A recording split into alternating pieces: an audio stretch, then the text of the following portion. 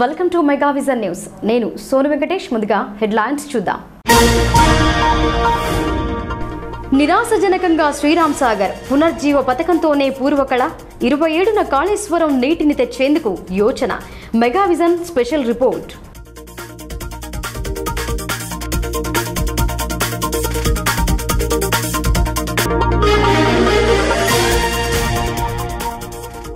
మానవ మనుగడ చెట్లపైనే ఆధారం. మొక్కలను సంరక్షిద్దాం వృక్షాలుగా మారుద్దాం. హరితహారంలో బోధన్ ఎంపీపీ.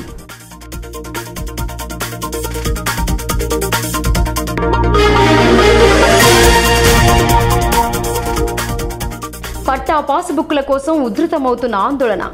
తప్పుడు నివేదికలతో భూములు లాక్కోవడం తగదు. నల్ల బ్యాడ్జీలతో మౌన ప్రదర్శన.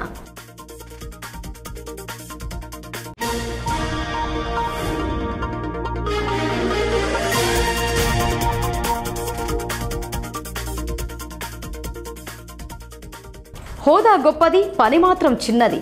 చిన్నపాటి వర్షాలకు గుంతలమయంగా మారిన ప్రధాన రోడ్లు.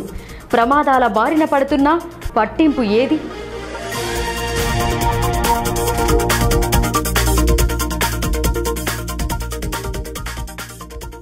పార్టీ కోసం పనిచేసే వారికి ప్రత్యేక ఆదరణ. గ్రామ మండల శాఖలలో పార్టీ పదవులు చందూరులో టీఆర్ఎస్ కార్యకర్తలతో జెడ్పీ చైర్మన్. పక్షం రోజులుగా కురుస్తున్న భారీ వర్షాలకు కుంటలు చెరువులు వాగులు పొంగి పొర్లుతున్న తెలంగాణ వరప్రదాయిని మాత్రం బోసిపోతోంది. ఎగువ భాగం నుండి రావాల్సిన వరద నీటి ఉధృత తక్కువగా ఉండటంతో ప్రాజెక్టులోకి ఇన్ఫ్లో తగ్గిపోయింది. గలగల గోదావరి పరుగులు పెట్టి వ్యవసాయ సాగుకు నీటిని అందించాల్సిన శ్రీరామ్ సాగర్ కాస్త వెలవెలబోతోంది. బాబ్లి పుణ్యమా అంటూ శ్రీరామ్ సాగర్ పరిస్థితి ప్రశ్నార్థకంగా మారింది. తలుపునే ప్రాజెక్టు ఉన్న ఆయకట్టు రైతాంగానికి సాగునీరు అందించలేని దుస్థితి ప్రస్తుతం నెలకొంది. నిజామాబాద్ జిల్లా బాల్కొండ మండల పరిధిలోని శ్రీరామ్ సాగర్ ప్రాజెక్టు గరిష్ట నీటి సామర్థ్యం తొంభై టీఎంసీలు కాగా ప్రస్తుతం ప్రాజెక్టులో నీటి నిల్వ వెయ్యి అరవై అడుగులు అంటే పద్నాలుగు టీఎంసీలన్నమాట. అదే ప్రాజెక్టులో గత సంవత్సరం ఆగస్టు పదితో పోలిస్తే రెండు టీఎంసీల నీటి లభ్యత తక్కువగా ఉంది. ఉత్తర తెలంగాణ వరప్రదాయినిగా ఉన్న శ్రీరామ్ సాగర్పై పాత ఉమ్మడి నాలుగు జిల్లాలు ఆధారపడి ఉన్నాయి. కరీంనగర్ వరంగల్ ఖమ్మం ఆదిలాబాద్తో పాటు నిజామాబాద్ జిల్లాలకు సాగునీరు అందించేది. గోదావరి నదిపై మహారాష్ట్రలో రిజర్వాయులు ప్రాజెక్టులు నిర్మాణం జరపడం వల్ల ఆనాటి నుండి శ్రీరామ్ సాగర్కు ప్రమాదం వాటిల్లింది. మహారాష్ట్రలో అనుకున్న దానికంటే అధిక వర్షపాతం కురిసి వారు నిర్మించుకున్న రిజర్వాయర్లు నిండితే మిగిలిన నీరు దిగువ భాగానికి వస్తోంది అది కాస్త ఎస్ఆర్ఎస్పీలోకి చేరుతోంది. ఇదివరకు ఈ ప్రాజెక్టుల నిర్మాణం లేని సమయంలో శ్రీరామ్ సాగర్ ఎప్పుడూ నిండుకుండను తలపిస్తూ ప్రజల దాహర్తితో పాటు సాగు భూములకు కావాల్సిన నీటిని అందించేది. ఇది గమనించిన రాష్ట్ర సర్కార్ రెండు వేల పదిహేడు ఆగస్టులో శ్రీరామ్ సాగర్ పునర్జీవ పథకానికి సీఎం కేసీఆర్ పునాది రాయి వేశారు. పనులను వేగవంతంగా జరిపి రెండు వేల పంతొమ్మిది నాటి ఖరీఫ్కు సాగునీరు అందిస్తామని చెప్పారు. కాళేశ్వరం ద్వారా రివర్స్ పంపింగ్ ద్వారా నీటిని తెచ్చి శ్రీరామ్ సాగర్ని నింపి వరద కాలువల ద్వారా నీటిని విడుదల చేసి రైతులను ఆదుకుంటామని చెప్పారు. వర్షాకాలం ఆరంభమై రెండు మాసాలు దాటి మరో మాసం గడుస్తోంది. మొదటి మాసంలో ఉష్ణతాపం కాస్త ఉక్కిరి బిక్కిరి చేసింది. అడపాదడపా కురిసిన వర్షాలు పూర్తి స్థాయిలో భూమిని చల్లార్చలేని పరిస్థితి ఏర్పడింది. ఇదే తరుణంలో జూలై మాసం చివరాంతంలో ఏర్పడ్డ వాయుగుండం ప్రభావంతో ముసురుతో కూడిన వర్షంతో పాటు మోస్తారు వర్షాలు కురిశాయి. అయినా ఈ వర్షాల వల్ల ఎలాంటి ప్రయోజనం చేకూరలేదు. తిరిగి ఆగస్టు ఒకటిన ఏర్పడ్డ అల్పపీడన ప్రభావంతో కురిసిన వర్షాలకు ఎస్ఆర్ఎస్పీలోకి తొమ్మిది టీఎంసీల నీరు వచ్చి చేరింది. లేదంటే పరిస్థితి మరోలా ఉండేది. కేవలం ఐదు టీఎంసీల నీటితో డెడ్ స్టోరేజీకి ఎస్ఆర్ఎస్పీ చేరింది. ఇందులో నుండి రోజువారీగా మూడు వందల క్యూసెక్కుల నీటిని త్రాగునీటి అవసరాల కోసం మిషన్ భగీరథ క్రింద కరీంనగర్ జగిత్యాల నిర్మల్ ఆదిలాబాద్ ఆరుమూర్ నిజామాబాద్ కామారెడ్డి ప్రాంతాలకు నీటిని అందజేశారు. ఈ తరుణంలో కురిసిన వర్షాలు కాస్త ఎంతో సంతోషాన్ని కలిగించినా ప్రాజెక్టు పూర్తి స్థాయిలో నిండలేకపోయింది. ఎగువ నుండి నీరు వస్తుందన్న ఆశ లేకుండా పోయింది. మొత్తం శ్రీరామ్ సాగర్ పునర్జీవంపైనే ఆశలు. ఖరీఫ్ నాటికి నీటిని అందేలా చూస్తామని మంత్రి వేముల ప్రశాంత్ రెడ్డి ప్రకటించిన పనులు పూర్తి కాలేదు. దీంతో ఈ నెల ఇరవై ఏడున పునర్జీవ పనులను ప్రారంభించడానికి తెలంగాణ సర్కార్ సిద్ధమవుతోంది. సీఎం కేసీఆర్ ఇరవై ఏడున ఎస్ఆర్ఎస్పీకి చేరుకుని రాత్రికి ప్రాజెక్టు అతిథి గృహంలో విడిది చేసి మరుసటి రోజు పునర్జీవ పథకం ద్వారా నీటిని వదులుతారని అంచనాకొచ్చారు. ముఖ్యమంత్రి పర్యటన దాదాపు ఖరారయ్యిందని భావిస్తున్నారు. ఎస్ఆర్ఎస్పీ నుండి పునర్జీవ పథకం వరకు వెళ్ళే రోడ్డు మ్యాప్కు అధికారులు సిద్ధం చేస్తున్నారు. ఎస్ఆర్ఎస్పీ కట్టపై అక్కడికి చేరుకునే అవకాశాలు సక్రమంగా లేవని భావించారు. ముక్కాల్ నుండి నేరుగా పునర్జీవ పథకం పైలాన్ వద్దకు చేరుకొని ఆరంభించడానికి ప్రణాళిక సిద్ధం చేస్తున్నారు. కానీ ఎంత చేసినా ఖరీఫ్ గడిచిపోయిందని దీనివల్ల ప్రస్తుతం ఎలాంటి లాభం లేదని రెండో పంట అయిన యాసంగికి నీరందే అవకాశం ఉంటుందని వివరించారు.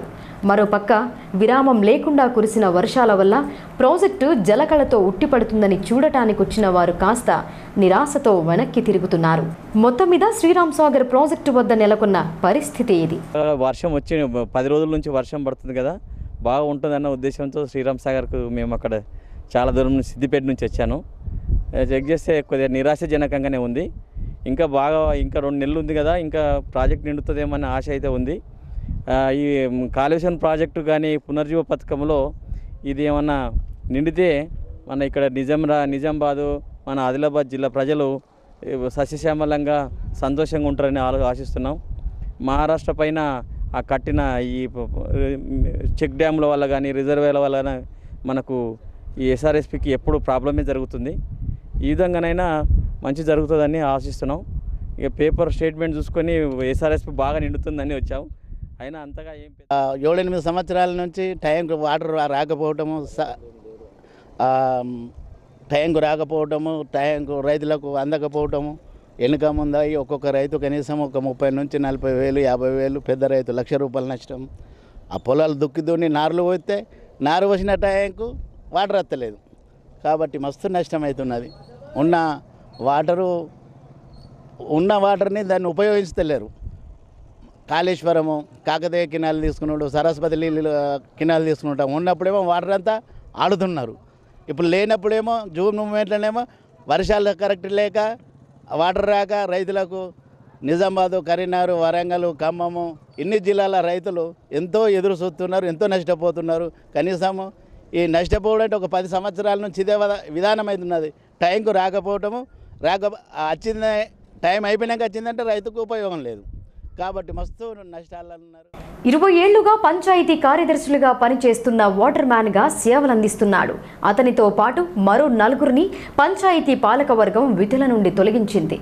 పంచాయతీ కార్మికులకు అండగా సిఐటియు నిలిచి ధర్నా చేపట్టింది. రెంజల్ మండలం వీరన్నగుట్ట పంచాయతీ కార్యాలయం ఎదుట సిఐటియు ఆధ్వర్యంలో పంచాయతీ కార్మికులు ధర్నా జరిపారు. తొలగించిన కార్మికులను విధుల్లోకి తీసుకోవాలని డిమాండ్ చేశారు. సిఐటియు ప్రధాన కార్యదర్శి నూర్జహాన్ ఆధ్వర్యంలో కార్మికులు ధర్నా జరిపారు. ఇరవై సంవత్సరాలుగా వీరన్నగుట్ట పంచాయతీలో వాటర్ మ్యాన్ లైన్ మ్యాన్ ముగ్గురు పారిశుద్ధ్య కార్మికులు పనిచేస్తున్నారు. స్థానిక సర్పంచ్ అధికారికంగా వీరిని తొలగించారని పేర్కొన్నారు. ఈ విషయంపై సర్పంచ్ వివరణ కోరగా నిర్లక్ష్యంగా వ్యవహరిస్తున్నారని తెలిపారు. తొలగించిన కార్మికులను తక్షణమే విధుల్లోకి తీసుకోవాలని లేని ఎడల సిఐటి ఆధ్వర్యంలో ధర్నా చేపడతామన్నారు. సాధింపు చర్యతోటి పాల్పడడం జరిగింది. ఐదుగురు గ్రామ పంచాయత్ సిబ్బందిని తొలగించడం జరిగింది. అడగగా నిర్లక్ష్య వైఖరితో మాట్లాడుతూ ఉన్నారు. ఇది స- సరైంది కాదు. గ్రామ పంచాయతీ కార్మికులను ఎందుకు తొలగించారు అని ప్రశ్నిస్తే చాలా రోజులు అయిపోయింది మేము తొలగిస్తాను సర్పంచ్కు అధికారం ఉంది అని చెప్తా ఉన్నారు. మేము అడుగుతా ఉన్నాం సర్పంచ్ గారికి కొత్త జీవో రావడం జరిగింది కొత్త జీవోలో గ్రామ పంచాయతీ సర్పంచ్ తొలగించే అధికారం గ్రామ పంచాయతీ సర్పంచ్కి లేదు. మేము అడుగుతా ఉన్నాం గ్రామ పంచాయతీ కార్మికులు ఇరవై సంవత్సరాల నుంచి ఇవాళ వీరన్న గుట్టలో చిన్న మోరి కాడికెళ్ళి లైట్ వీధి దీపాల వరకు పనిచేస్తూ ఉన్నారు. ఇవాళ తాతల కాలం నుంచి తరతరాల పనిచేసి ఇవాళ పనిచేస్తూ ఉంటే మీరు పనికిరాదు అని చెప్పడం. ఇది అన్యాయం ఇది దౌర్జన్యం. ఇతర దగ్గర డబ్బులు తీసుకొని కొత్త కార్మికులు పెట్టాలనే ఆలోచన సర్పంచ్ పంచాయతీ సిబ్బంది కొన్ని రోజులుగా నిర్లక్ష్యంగా వ్యవహరిస్తున్నారని వర్షాన్ని సాకుగా చూపుతూ విధుల్లోకి రావడం లేదని దీంతో గ్రామస్తులు ఇబ్బంది పడుతున్నారని సర్పంచ్ తెలిపారు. సిబ్బందిని సముదాయించే ప్రయత్నం చేయగా తామేమి చేయాలని ఎదురు సమాధానం ఇస్తున్నారని చెప్పారు. డబ్బులిస్తే పని మానుకుంటున్నామని కార్యాలయానికి సంబంధించిన తాళం చెవులను ఇచ్చారని చెప్పారు. వీరన్నగుట్ట ఇందులో భాగస్వామ్యమైన గ్రామం ప్రత్యేక పంచాయతీ ఏర్పడడంతో ప్రజలకు ఇబ్బంది కలగకుండా ఉండేందుకు కొత్త వారిని నియమించుకున్నామని తెలిపారు. పారిశుద్ధ కార్మికులు ఐదుగురు ఉండడం వలన మా యొక్క గ్రామ పంచాయతీ చిన్నది కావున అంతమందికి వేతనాలు చెల్లించలేని స్థితిలో ఉన్నాం. అంతమందిని పనికి అవసరం లేదు కాబట్టి ఇద్దరే ఉండండి అని చెప్పడం వల్ల వాళ్ళు మా వేతనాలు మాకు ఇచ్చేస్తే మొత్తం పూర్తిగా వెళ్ళిపోతాం అని చెప్పడంతో వాళ్ళకు వేతనాలు చెల్లించడం జరిగింది. ఒక్కోళ్ళు కాకుండా పూర్తిగా ఐదుగురు కూడా వెళ్ళిపోవడం జరిగింది. కాబట్టి వారి స్థానంలో పారిశుద్ధ పనులు కొనసాగాలని చెప్పేసి ఇతరులను నియమించడం జరిగింది. అదేవిధంగా వాళ్ళు ఎటువంటి పనులు కూడా చేయడం లేదు. ఇది గ్రామస్తులందరికీ తెలిసినటువంటి విషయం. వన సంపదను పెంపొందించి ప్రజలకు కావాల్సిన ప్రాణవాయువుని అందించాలన్న సంకల్పంతో సర్కార్ హరితహారానికి శ్రీకారం చుట్టింది. అంతరించిపోతున్న అటవీ సంపదను మరింత పెంచి పచ్చటి తోరణాలతో పల్లెలు స్వాగతం పలికేలా మొక్కల పెంపకం జరుపుతున్నారు. అందులో భాగంగా గ్రామాలలో విరివిగా మొక్కలను నాటుతున్నారు. బోధన్ మండల పరిధిలోని సాలాంపాడ్ సాలాంపాడ్ క్యాంప్ గ్రామాలలో శనివారం హరితహారంలో భాగంగా ఎంపీపీ బుద్దె సావిత్రి ఆధ్వర్యంలో గ్రామస్తులకు మొక్కలను పంపిణీ చేశారు. పలు చోట్ల మొక్కలను నాటారు. ప్రతి ఒక్కరూ బాధ్యతగా మెలిగి నాటిన మొక్కలను సంరక్షించుకుంటే హరితహారం ఫలితాలు అందుతాయని ఎంపీపీ సావిత్రి అభిప్రాయపడ్డారు. మండల రైతు సమన్వయ సమితి కోఆర్డినేటర్ బుద్ధి రాజేశ్వర్ మాట్లాడుతూ మొక్కలు నాటి వాటిని సంరక్షించి వృక్షాలుగా మారినప్పుడే హరితహారం లక్ష్యం నెరవేరుతుందన్నారు. చెట్లు లేకపోతే మానవ మనుగడకి ప్రమాదం వాటిల్లుతుందని ఆవేదన వ్యక్తం చేశారు. కావాల్సినన్ని మొక్కలు లేకపోవడంతో వాతావరణ సమతుల్యం దెబ్బతిని సరైన సమయంలో వర్షాలు పడటం లేదన్నారు. దీన్ని గుర్తించిన సీఎం కేసీఆర్ హరితహారం కార్యక్రమాన్ని ప్రవేశపెట్టారన్నారు. ఎమ్మెల్యే షకీల్ నేతృత్వంలో నియోజకవర్గాన్ని హరిత బోధనగా తీర్చిదిద్దుతున్నామన్నారు. ఈ కార్యక్రమంలో ఎంపీడీఓ రాజేశ్వర్ సర్పంచ్లు సుష్మా అంజమ్మ గంగాధర్ అమీర్ ఎంపీటీసీలు పాల్గొన్నారు. వాటికి నీళ్ళు పోసి మరి కంప కూడా నాటేసి వాటికి ఎటువంటి ఇబ్బంది లేకుండా మరి ఈరోజు మొక్కలు నాటడం జరిగింది. దీనిలో భాగంగానే మా గౌరవ ఎంపీపీ గారు మరి ఎంపీడీఓ గారు స్థానిక సర్పంచ్ ఎంపీటీసీలు అదేవిధంగా ప్రజలు పెద్ద ఎత్తున హాజరైనందులకు నేను ప్రత్యేక అభినందన చెప్తా ఉన్నాను. ఈరోజు మనం చూసుకుంటా ఉంటే మరి రా- రాబోయే తరానికి మంచి జరగాలన్నా మరి బాగా వర్షాలు పడాలన్నా ఈరోజు మొక్కలు నాటి వాటిని చెట్ల చెట్లుగా పెంచి వాటిని పరిరక్షించాల్సిన బాధ్యత మనందరి మీద ఉంది. ఒకవేళ చెట్లు పెంచకపోతే రాబోయే భవిష్యత్తులో ఉన్నవారికి మరి ప్రాణ సంకటంగా మారుతుంది. వారికి ఇబ్బంది జరుగుతుంది. వాళ్ళు చివరికి గాలి దొరకదు నీళ్ళు దొరకాయి మరి ఎన్నో ఇబ్బందులు ఎదుర్కోవాల్సిన పరిస్థితి వస్తుంది. అందుకొరకనే మన గౌరవ ముఖ్యమంత్రి గారు ఆలోచించి భావి భారత పౌరులకు మంచి గాలి అందాలన్నా మంచి నీళ్ళు రావాలన్నా ఈ చెట్టు నాటడమే ఒక మంచి కార్యక్రమం భావించి ఈరోజు ఐదవ విడత కార్యక్రమం కొనసాగుతూ ఉంది. మరి ఈరోజు ప్రజలందరూ కూడా మరి ముందుకొచ్చి చెట్లు పెంచడానికి ముందుకు వస్తూ ఉన్నారు. ఇది మంచి శుభ పరిణామం. మరి భవిష్యత్తులో కూడా మనం అందరం కూడా చెట్లు నాటి వీటి పెంచి పెద్దయాల్సిన బా బాధ్యత మనందరి మీద ఉంది. ఒకవేళ చెట్లు పెంచకపోతే మానవ మనుగడకే ప్రమాదం ఏర్పడుతుంది. మరి చివరికి ఆక్సిజన్ ఇప్పుడు ప్రకటనలు చూద్దాం. అతి తక్కువ ఖర్చుతో కార్పొరేట్ స్థాయి ఖరీదైన వైద్యాన్ని బోధన్ పట్టణ మరియు పరిసర ప్రాంత ప్రజలకు అందించేందుకు ప్రారంభించబడిన hospital Mayur health care centre Bodhan. Doctor Mohammed Abdul Rahim MD general medicine and consultant physician గారి ద్వారా బీపీ షుగర్ థైరాయిడ్ సంబంధిత వ్యాధులు పక్షవాతం దమ్ము క్షయ అన్ని రకాల జ్వరాలు విషం త్రాగిన వారికి పాము కాటు యాక్సిడెంట్స్ లాంటి అత్యవసర కేసులకు చికిత్స చేయబడును. Doctor Javeria Sultana MBBS consultant physician గారి ద్వారా ప్రెగ్నెన్సీ కేసులు స్త్రీ సంబంధిత వ్యాధులు మరియు అత్యవసర కేసులకు సత్వర పరిష్కారం ఇవ్వబడును. డాక్టర్ రాఘవేంద్ర జనరల్ సర్జన్ గారి ద్వారా హెర్నియా హైడ్రోసిల్ ఆర్సమోలలు పిస్టులా అపెండిక్స్ థైరాయిడ్ సెల్యులైటిస్ రొమ్ము సంబంధిత ఆపరేషన్లు అన్ని రకాల గడ్డలకు సంబంధించిన ఆపరేషన్ ఆపరేషన్లు చేయబడును. డాక్టర్ స్రవంతి గైనకాలజిస్ట్ గారి ద్వారా నార్మల్ డెలివరీలు సిజేరియన్లు గర్భసంచి ఆపరేషన్లు చేయబడును. హై రిస్క్ ప్రెగ్నెన్సీ కేసులు స్త్రీ సంబంధిత వ్యాధులు చూడబడును. పిల్లలు లేని వారికి ప్రత్యేక చికిత్స చేయబడును. Doctor Mohammed Sadiq Azam cardiologist from KIMS hospital గారిచే. ప్రతి శుక్రవారం తొమ్మిది గంటల నుండి ఆరు గంటల వరకు గుండె సంబంధిత వ్యాధులకు చూడబడును. Mayur health care centre old bus stand Bodhan. Phone zero eight four six seven triple two five three nine. Zilla Parishad chairman దాదన్న గారు విఠలరావు చందూరు మండలాన్ని ఆకస్మికంగా తనిఖీ చేశారు. టీఆర్ఎస్ పార్టీ సభ్యత్వ నమోదుతో పాటు గ్రామ శాఖ ఎన్నికలపై చర్చించారు. పార్టీ నాయకులతో సమావేశమయ్యారు. బాన్సువాడ నియోజకవర్గ టీఆర్ఎస్ సభ్యత్వ నమోదు ఇన్ఛార్జిగా నిజామాబాద్ జిల్లా పరిషత్ చైర్మన్ దాదన్న గారు విఠలరావు ఉన్నారు. ఆయన శనివారం చందూరు మండలంలో పర్యటించారు. టీఆర్ఎస్ పార్టీ సభ్యత్వంతో పాటు గ్రామ శాఖల ఎన్నికల పరిశీలకుల గురించి చర్చించారు. దీనికోసం మండలానికి రావటం జరిగిందని జడ్పీ చైర్మన్ తెలిపారు. పార్టీలో ఎలాంటి పదవులు లేనటువంటి వారిని గుర్తించి కష్టపడి పార్టీ కోసం పనిచేసే కార్యకర్తలకు గ్రామ శాఖ మరియు మండల శాఖలో చోటు కల్పిస్తామని ఆయన కార్యకర్తలకు సూచించారు. ఈ కార్యక్రమంలో సర్పంచ్ సత్యనారాయణ సర్పంచ్ సాయిరెడ్డి దేవిసింగ్ అంబర్ సింగ్ అశోక్ మరియు టీఆర్ఎస్ పార్టీ కార్యకర్తలు పాల్గొన్నారు.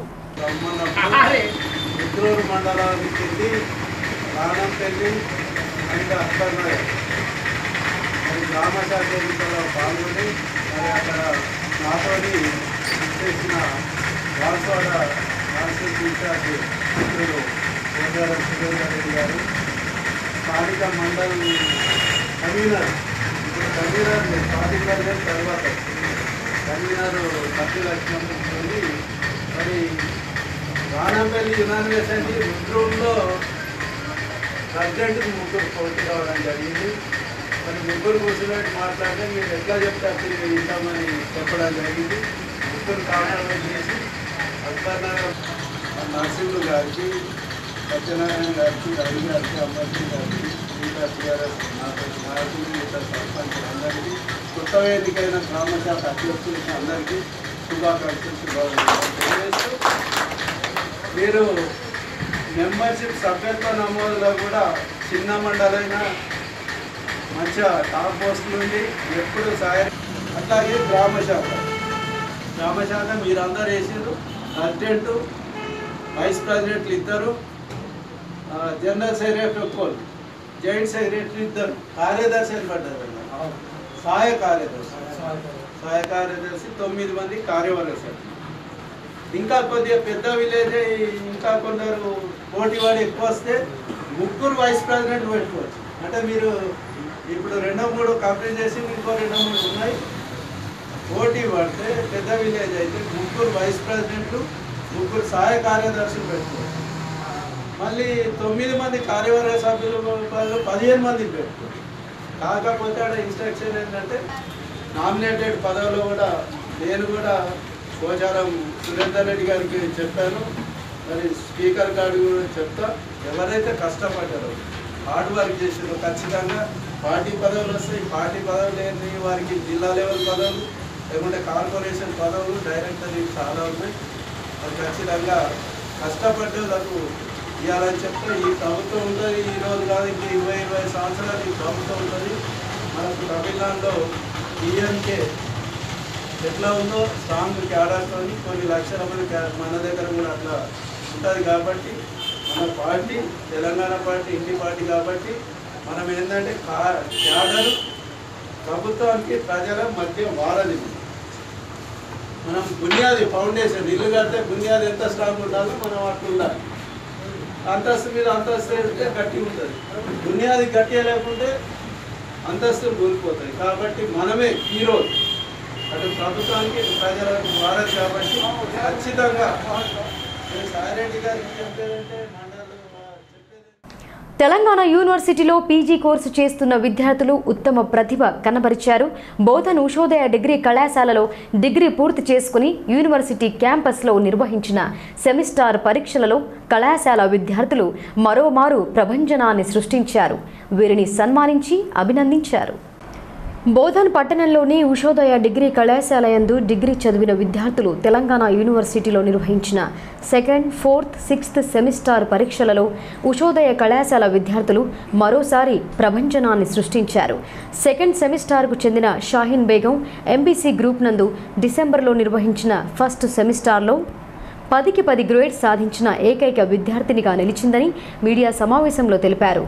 సెకండ్ సెమిస్టార్లో సైతం రికార్డులు సృష్టించారని చెప్పారు. శ్రీలేఖ్య సమయా షకిన్ హైస్టా హఫీజ్లు విద్యాలయం టాపర్లుగా నిలిచారని వీరిని పరీక్షల నియంత్రణ అధికారి డాక్టర్ సంపత్ కుమార్ తన చాంబర్లో శాలువా కప్పి పూల బొకేతో సన్మానించారని తెలిపారు. విద్యార్థులు పోటీతత్వంతో ముందుకు సాగుతున్నారని ఉత్తమ ఫలితాలను సాధిస్తూ వాటిని నిరంతరం నిలుపుకోవడం గర్వించదగ్గ విషయమని చైర్మన్ సూర్యప్రకాష్ తెలిపారు. కళాశాల ఖ్యాతిని యూనివర్సిటీలో నిలపడం గొప్ప విషయమన్నారు. ప్రిన్సిపల్ గంగాధర్ నాగరాజు అధ్యాపకులు పాల్గొన్నారు. నాలుగవ మరియు ఆరవ సెమిస్టర్ ఫలితాలలో ఉషోదయ డిగ్రీ కళాశాల విద్యార్థులు మరొకసారి ప్రపంచనాన్ని సృష్టించారు. ఇందులో సుమారుగా త్రీ హండ్రెడ్ మందికి పైగా విద్యార్థులు వివిధ సబ్జెక్టులలో టెన్ బై టెన్ గ్రేడ్ పాయింట్లను సాధించడము కళాశాలకు కళాశాల ప్రమాణాలకు తారకాణము.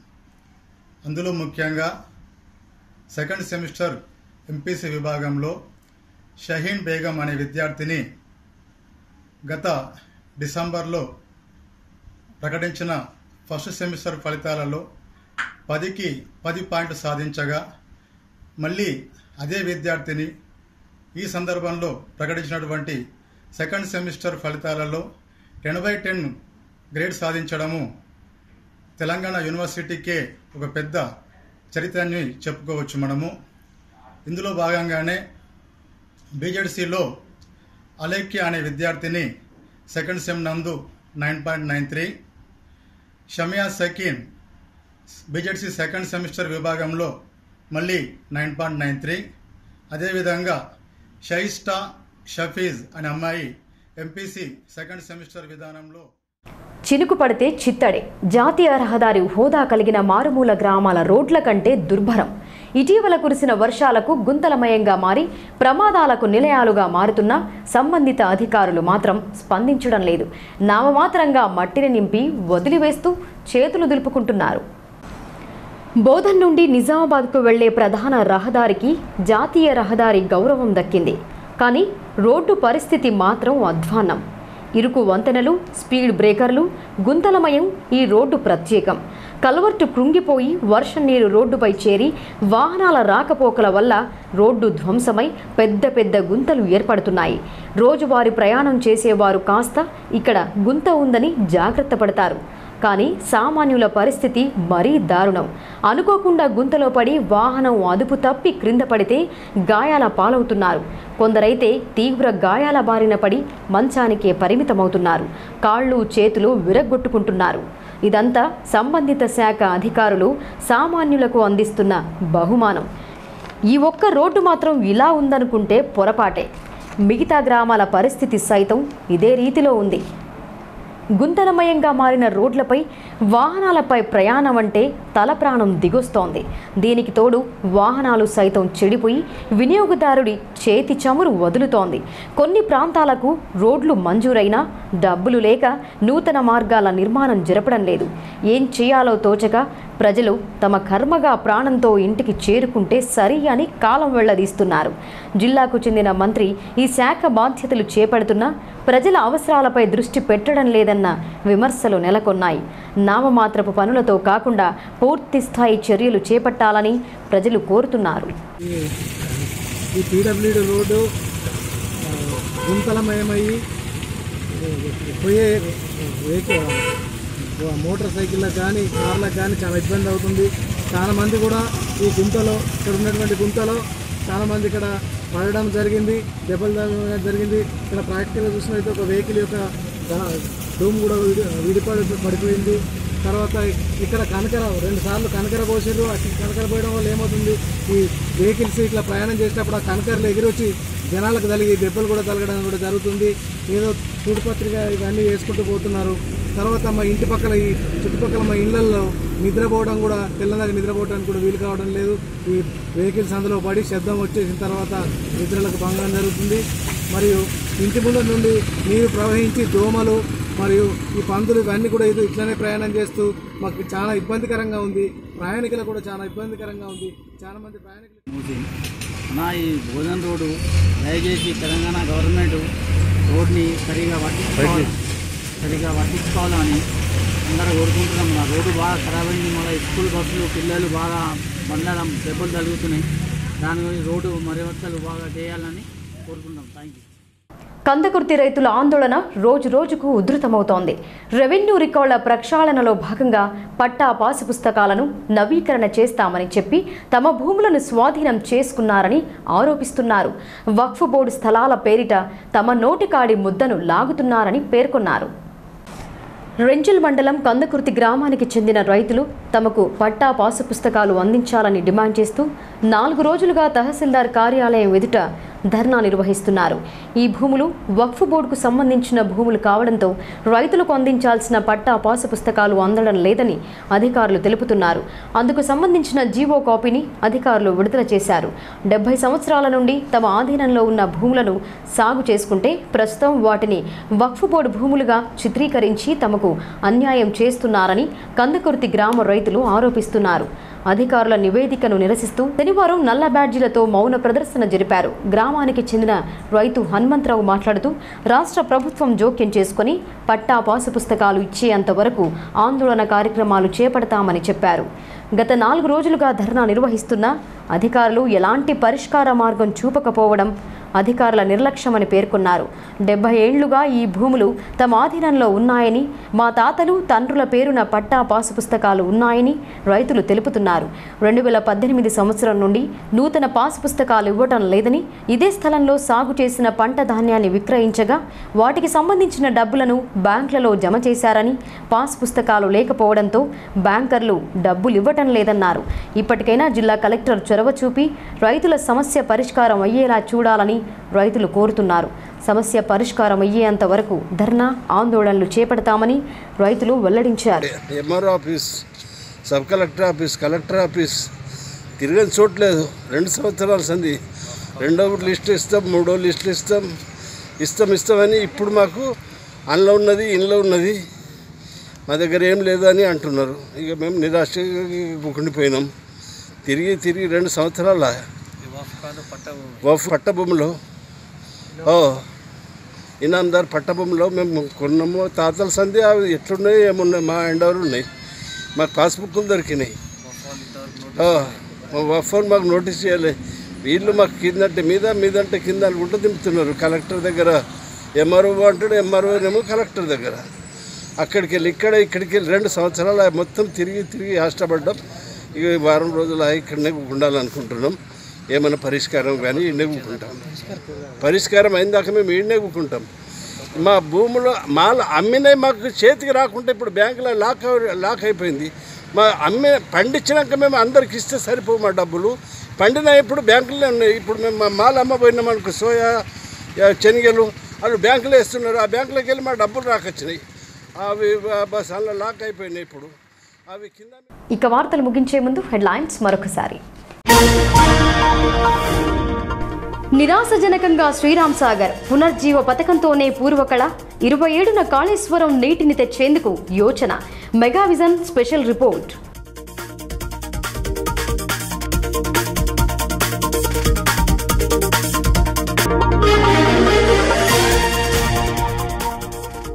మానవ మనుగడ చెట్లపైనే ఆధారం. మొక్కలను సంరక్షిద్దాం వృక్షాలుగా మారుద్దాం. హరితహారంలో బోధన్ ఎంపీపీ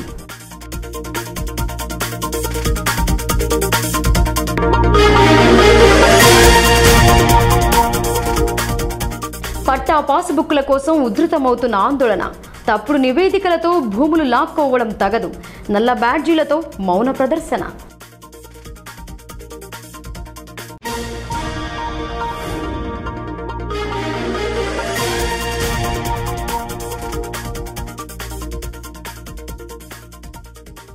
హోదా గొప్పది పని మాత్రం చిన్నది.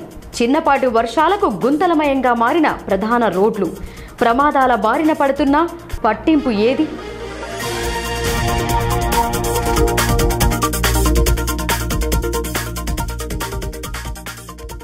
పార్టీ కోసం పనిచేసే వారికి ప్రత్యేక ఆదరణ. గ్రామ మండల శాఖలలో పార్టీ పదవులు చందూరులో టీఆర్ఎస్ కార్యకర్తలతో జడ్పీ చైర్మన్.